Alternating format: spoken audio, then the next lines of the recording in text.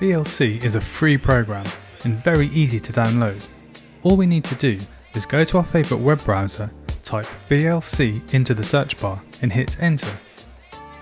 As you can see, the top result is for the official VLC media player. But if you're not sure here, the address you're looking for is www.videolan.org.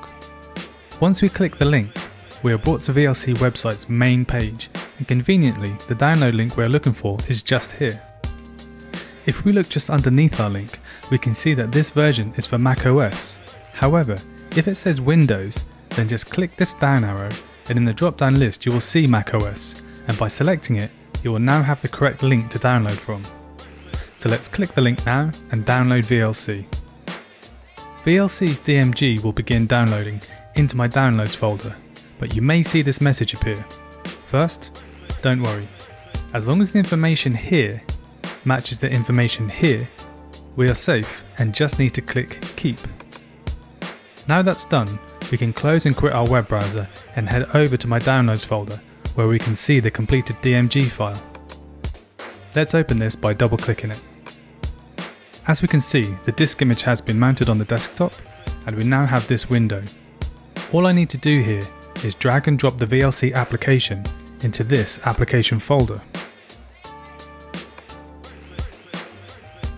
Once that's completed, we can close this window, delete the DMG file by holding down Ctrl while clicking it, then select Move to Bin.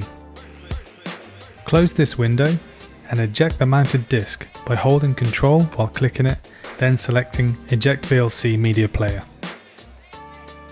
Now we've gotten rid of all of that, let's go into our Applications folder, find VLC and open it by clicking it from here. You will see this verification bar and just leave it to run.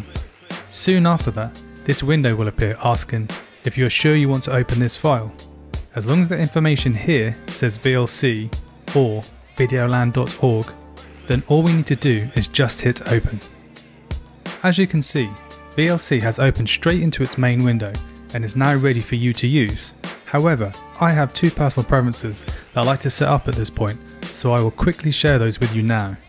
To do this, we need to go into VLC's preferences, so come up to VLC in the menu bar and from the drop down menu select Preferences. The first setting I changed is by putting VLC's interface into dark mode. I do this within the interface section by going just here in general settings and checking the dark button.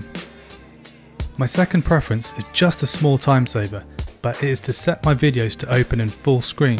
To do this, we need to go into the video tab and towards the center of the window in full screen settings, check the box for start in full screen. Once we have done that, all we need to do is hit save and we are done. As you will see, nothing has changed with the interface, so you may be wondering what happened to dark mode. To see the changes, we need to quit and reopen VLC. So let's quit VLC by coming up to VLC in the menu bar and selecting quit. Now let's go back to our applications folder and reopen VLC. As you can see, we now have dark mode. So that was how to download, install and set up VLC. Head over to the next video where I'll show you the 4 easiest ways to open a video file in VLC.